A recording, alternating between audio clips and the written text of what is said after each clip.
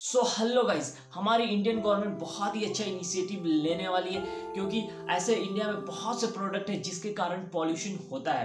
तो चलिए मैं आपको ऐसे प्रोडक्ट दिखाने वाला हूँ, जो आपको 2022 में वो प्रोडक्ट आपको नहीं देखने को मिलेगा, क्योंकि गवर्नमेंट उसको परमानेंटली बंद बैन करने वाली है। तो हमारा सबसे पहला प्रोडक्ट आता है ईयरबड्स ये प्लास्टिक के बने होते हैं। साथ ही अगर आप बैलून खरीद, खरीदते हो तो उस पर आपको बैलून के साथ हैंडल मिलता है। वो भी आपको देखने को नहीं मिलेगा। पिक्चर नंबर टू तो यहाँ पे आप देख सकते हैं, आप इंडिपेंडेंस में बहुत बार, बहुत सारे फ्लैग जो है, आपको प्लास्टिक के बने हुए बिकते हैं। ये भी बैन करने वाली है और कैंडी कैंडी के साथ आपको हमेशा आपको प्लास्टिक का बना हुआ स्टिक मिलता है कैंडी स्टिक ठीक है? ये भी बैन करने वाला है। तो पिक्चर नंबर थर्ड में आपको, यहाँ पे आपको, आप देख सकते हो स्ट्रॉ आपको देखने को नहीं मिलेगा, ये भी बैन होने वाली है। और आप जब भी अगर मिठाई का पैकेट खरीदने जाते हो तो आपको बहुत सी मिठाई में, मिठाई के साथ आपको प्लास्टिक का पैकेट मिलता है। ये भी बैन करने वाली है सरकार। इसके साथ आपको सबसे फ़ेमस प्रोडक्ट जो कि थर्माकोल का डेकोरेटिव सामान बनता है, इसके साथ वेडिंग्स में, ये तो बहुत ही ज़्यादा बिकने वाला,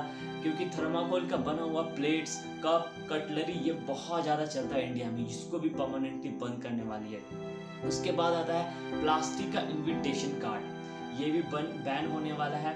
और आपको सिगरेट के पैकेट जो प्लास्टिक का बना होता है, ये भी बैन करने वाली है सरकार। और लास्ट हमारा ये प्रोडक्ट है पीवीसी बैनर ठीक है?